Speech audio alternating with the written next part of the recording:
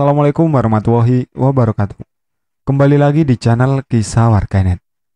Di video kali ini, saya akan menceritakan sebuah cerita yang saya dapatkan dari akun Twitternya Bristory. Cerita ini berjudul KRL Jakarta Bogor, Stasiun Gaib. Seperti apa ceritanya? Tak usah lama-lama, kita ke ceritanya. Perjalanan pulang pergi menggunakan KRL Jakarta Bogor sudah dijalani bertahun-tahun oleh teman kita yang satu ini.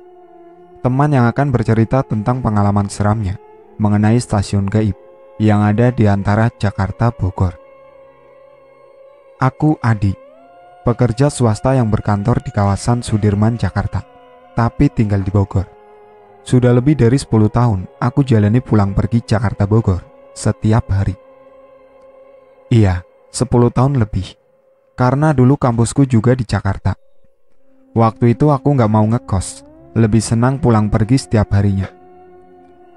Pulang pergi Jakarta Bogor ini menjadi kebiasaan sampai aku bekerja, menikah, dan akhirnya memiliki rumah sendiri di Bogor. Entahlah, aku lebih senang tinggal di Bogor. Gak pernah sedikit pun terpikir untuk tinggal di Jakarta. Gak mau. Toh aku bisa jalani semuanya tanpa harus tinggal di Jakarta transportasi Jakarta Bogor sudah semakin mumpuni. Salah satu alat transportasi umum yaitu kereta api, atau sekarang KRL namanya. Sejak kuliah aku sudah sangat akrab dengan mode transportasi umum ini. Sejak masih acak-acakan sampai rapi dan teratur seperti sekarang. Walaupun sudah memiliki kendaraan pribadi, aku lebih memilih naik kereta daripada harus berkulat dengan penatnya kemacetan jalanan Jakarta. Dalam perjalanannya, banyak suka duka yang aku rasakan dalam ketika harus bergumul dengan penumpang lain di dalam kereta. Suka dan duka. Tapi pada intinya, aku menikmati perjalanan kereta Jakarta Bogor ini. Lebih banyak sukanya sih. Nah, aku akan mulai masuk ke pembahasan seru, pembahasan halal mistis tentang kereta Jakarta Bogor ini. Sudah sejak lama aku mendengar banyak cerita-cerita janggal dan seram yang dialami oleh penumpang kereta. Dari kisah yang hanya terdengar dari mulut ke mulut, sampai dengan cerita sampai viral ke seluruh penjuru negeri. Semua mungkin sudah tahu cerita tentang kereta gaib di stasiun Manggarai, atau kereta hantu di stasiun UI, atau stasiun-stasiun yang terkenal angker, dan masih banyak lagi kisah yang bisa membuat bulu kuduk berdiri. Aku termasuk orang yang lebih sering mengedepankan logika, termasuk orang agak spektif untuk urusan mistis dan hantu-hantuan. Walau nggak bisa dipungkiri, aku juga pernah beberapa kali mengalami hal janggal, menjurus seram. Tapi yaitu tadi, aku akhirnya terus mengedepankan logika. Tentang cerita-cerita seram yang beredar tentang kereta Jakarta Bogor, sikapku juga sama sampai tahun 2015 aku nggak terlalu percaya dengan cerita-cerita itu. Karena sama sekali belum pernah mengalami kejadian seram ketika naik kereta. Iya, hanya sampai tahun 2015. Karena pada tahun itu, akhirnya aku mengalami sendiri kejadian seram di luar nalar yang terjadi di dalam KRL Jakarta Bogor. Begini ceritanya. Oh iya, sepertinya ada yang harus aku ceritakan dulu ada kejadian janggal yang beberapa kali aku alami ketika sedang berada di atas kereta.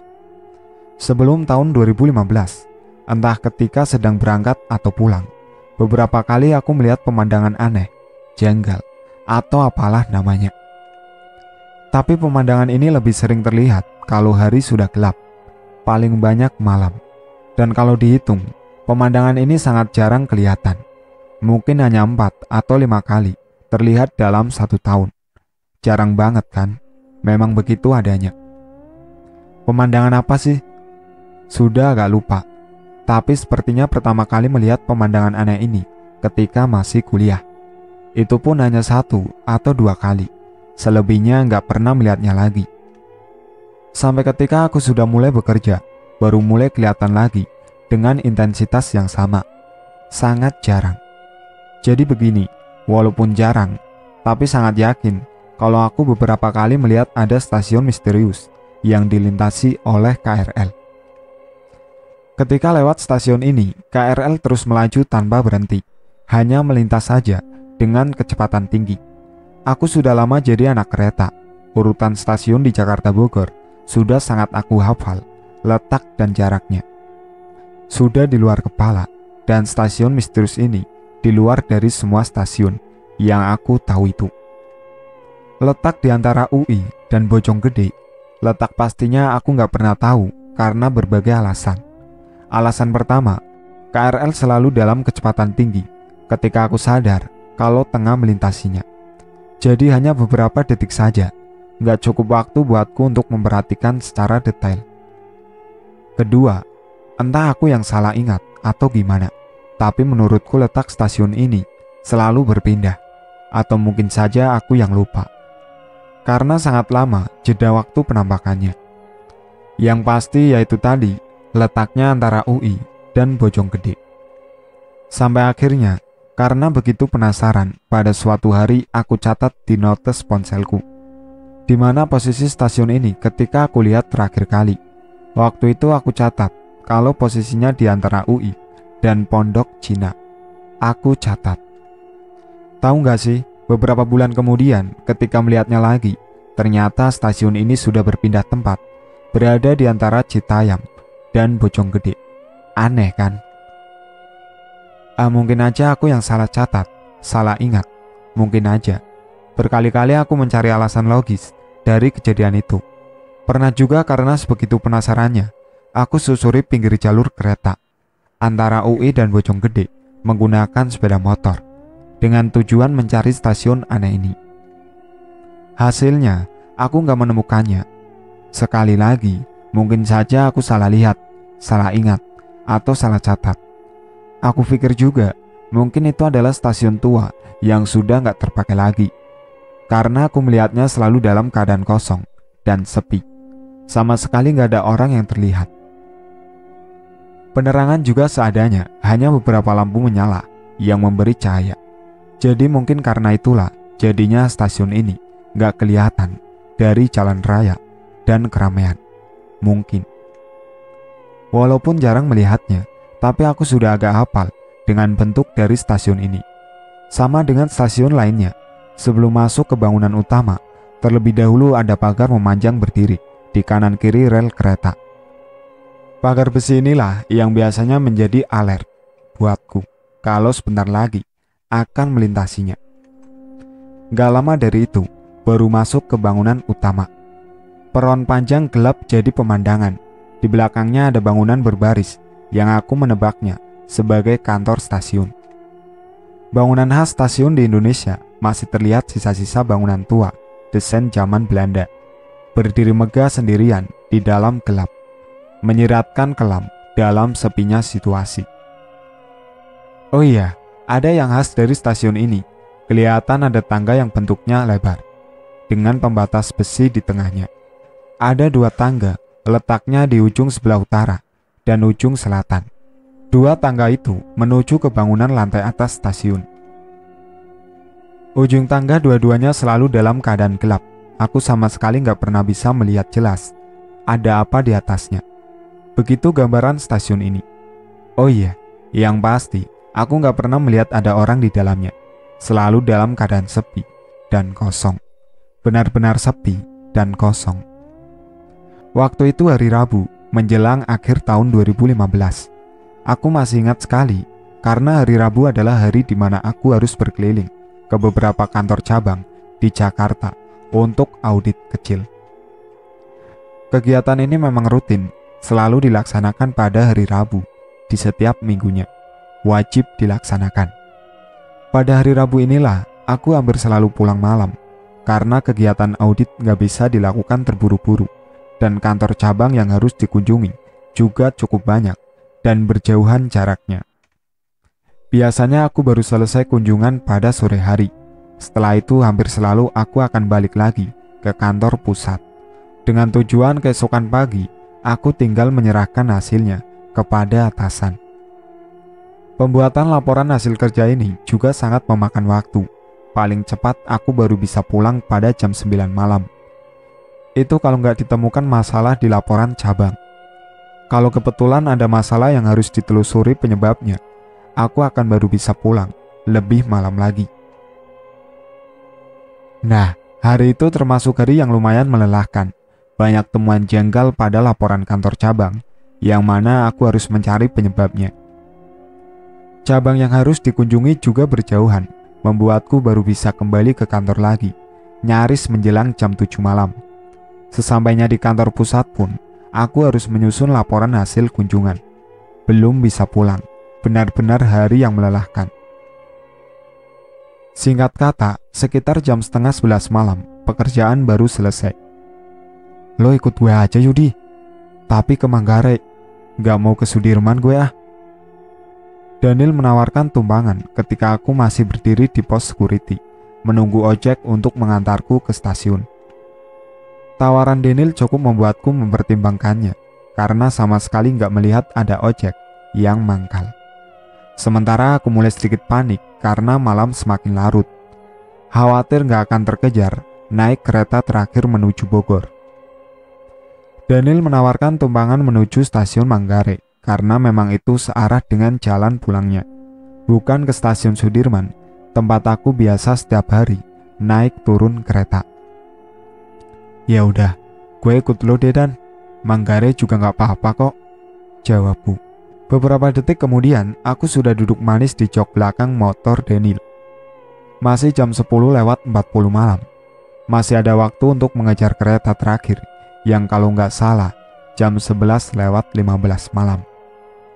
Motor Daniel melaju dalam kecepatan normal, kira-kira dalam 15 menit.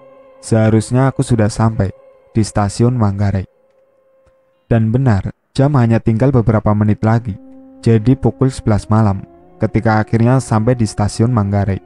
Aku turun dari motor, sementara Daniel melanjutkan perjalanan pulang menuju rumahnya. Jam 11 malam, masih ada beberapa orang yang terlihat berseliweran di stasiun ini. Tentu saja nggak seramai di jam normal dan jam sibuk. Malahan tergolong sangat sepi buatku Pulang menjelang tengah malam seperti ini cukup jarang aku jalani. Seperti yang sudah aku bilang di awal tadi, biasanya paling malam jam 9, aku sudah duduk manis di dalam kereta. Malam itu layaknya malam normal, seperti biasanya. Ngeliat kota Jakarta masih berdenyut menandakan kalau dia selalu hidup. Pengapnya udara sedikit berkurang ketika hari beranjak terus menuju puncaknya. Udara yang terhirup sedikit lebih segar daripada jam-jam sebelumnya. Tapi ya tetap saja keringatku mengalir ketika harus berjalan kaki menuju peron, tempat menunggu rangkaian kereta datang. Kereta Bogor masih ada kan pak? Aku bertanya kepada Pak Security yang masih setia menjaga, memastikan kalau kereta terakhir masih ada, belum lewat. Masih ada mas, barusan yang lewat juga kereta ke Bogor Naik yang berikutnya aja, tapi bakalan agak telat. Katanya tadi ada gangguan di Tanah Abang. Begitu penjelasan Pak Security. Ah, agak menyesal karena tadi sedikit terlambat. Jadi nggak sempat naik kereta jam 11. Ketinggalan beberapa menit saja. Dengan begitu, harapanku hanya tinggal menunggu kereta terakhir. Oke pak, makasih ya. Setelah itu aku melangkah menuju peron mencari tempat duduk sambil menunggu kereta datang. Tubuh sangat lelah karena kegiatan yang dilakukan sepanjang hari, ditambah dengan mata sudah mulai mengantuk. Sambil memeluk tas, aku duduk di kursi besi, memperhatikan sekeliling. Anehnya, sudah sangat sepi. Aku pikir keadaan seperti ini gak seperti biasanya. Ini terlalu sepi. Iya, sangat sepi. Aku melihat dua orang security yang berdiri di kejauhan. Mereka menjaga pintu penyeberangan orang ketika harus menyeberangi rel kereta. Selain mereka, ada dua atau tiga orang lagi yang terlihat. Sepertinya sama sepertiku, menunggu kereta ke Bogor. Karena berdiri di sisi yang sama, walau jarak kami berjauhan. Untuk sekelas stasiun Manggarai, yang notabene letaknya ada di ibu kota negara, stasiun seperti ini agak janggal karena sangat sepi benar-benar sepi. Semilir angin malam mulai tertiup membawa udara dingin, menyentuh tubuh, mengelus wajah. Kantuk yang sejak tadi aku sudah rasakan semakin menjadi-jadi karenanya. Sudah jam 11 lewat 13 malam. Seharusnya beberapa menit lagi kereta datang. Tapi aku langsung teringat dengan omongan Pak Security tadi kalau kereta akan datang sedikit terlambat karena ada gangguan teknis. Jadi aku sudah pasrah bersiap dengan keterlambatan kedatangannya. Akhirnya, aku nggak tahan lagi. Semilir angin perlahan mendorong tubuh untuk bersandar di tembok belakang. Kantuk semakin menjadi, beberapa kali aku terkesiap sambil duduk memeluk tas di pangkuan. Sampai akhirnya, aku benar-benar tertidur, tapi mungkin hanya beberapa menit. Kelihatan cahaya terang menembus pelupuk mataku yang masih terpejam, sangat terang sehingga menyilaukan. Terbangunlah aku dari tidur sejenak karenanya. Setelah mengucak-ucak mata sebentar untuk memperjelas penglihatan, akhirnya aku melihat kalau cahaya terang menyilaukan itu berasal dari lampu kereta. Ah, akhirnya datang juga keretanya. Aku bersyukur dalam hati. Benar saja, ketika sudah sangat dekat, aku dapat melihat ada tulisan Bogor di atas rangkaian kereta yang paling depan. Benar, ini kereta yang aku tunggu. Lalu aku berdiri menunggu sampai kereta sudah benar-benar berhenti.